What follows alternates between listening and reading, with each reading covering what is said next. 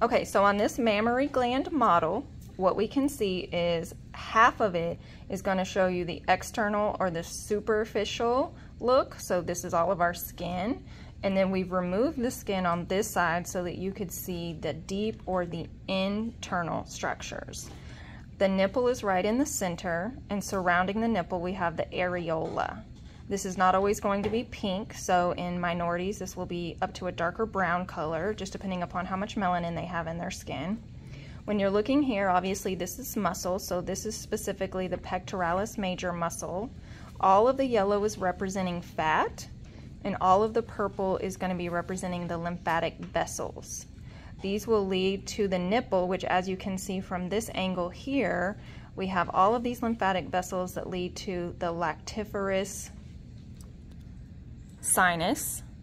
The lactiferous sinus leads to the lactiferous ducts, which are these purple long structures that you see that ultimately end up in the lactiferous glands.